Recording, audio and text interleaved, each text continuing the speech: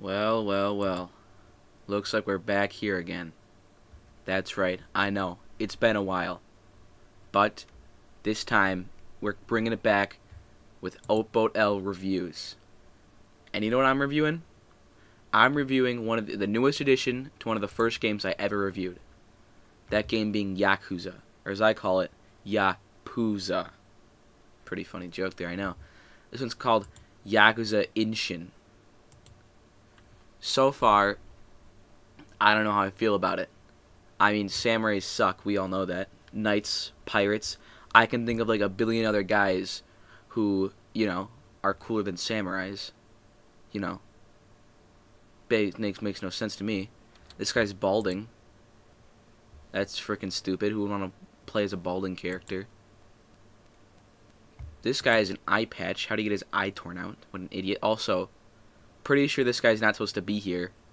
It's supposed to be samurai times. This guy's from modern times. Maybe should Sega should stick to Sonic and what they're good at. Hmm. Yeah, that's what I think.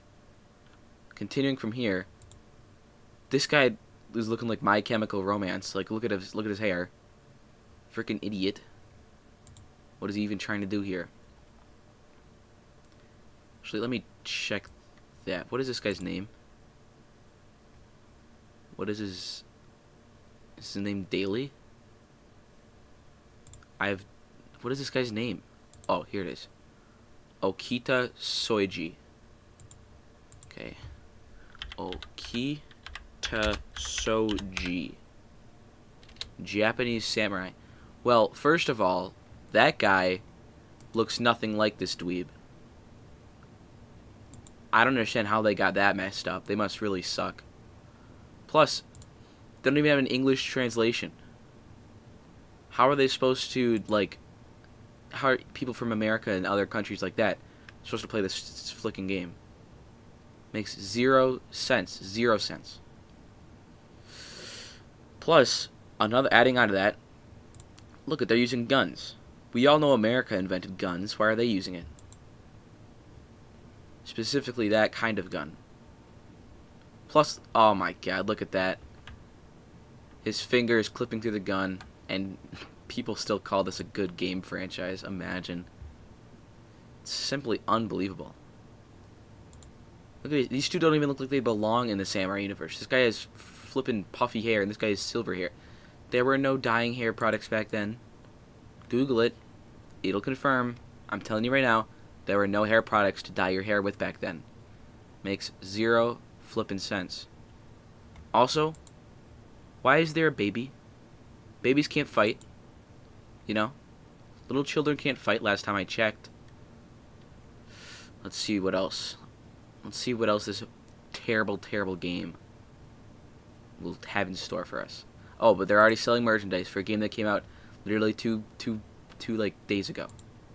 Unbelievable. The, they're naked. They're naked in that scene. What the heck? They're flicking naked. They need to fix that. They need to patch that out right this instant. Let's see what this GIF is.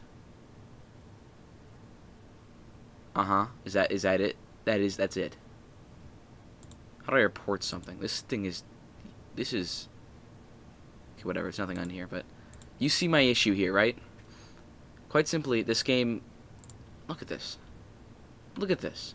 Oh, PlayStation 3. That's they're selling on the PlayStation 3. PlayStation 3 came out like 50 years ago. Who uses that anymore? Nobody. Nobody. Nobody. The only good thing that a PlayStation 3 ever did was release Batman the Dark Knight as like a cover for it. That's like the only good thing. The Joker one version too. Only good thing they ever did. And this is just lazy. Right here. This is just lazy. Calling it Yakuza 2. It makes no sense. Because if I remember correctly, this game takes place in the flickin' medieval ages, samurais and such. You know, what sense does it make to have flippin' flippin' Yakuza 2? Yakuza 1 took place in like the 80s or something. Zero sense. Zero. Zero zero cents. Zero. Zilch. Nada.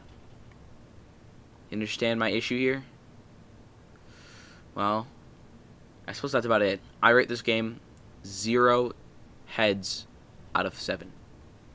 Thank you for watching Oatboat Ellers. Sorry for not posting in a bit. Actually, no, I'm not sorry. I could care less.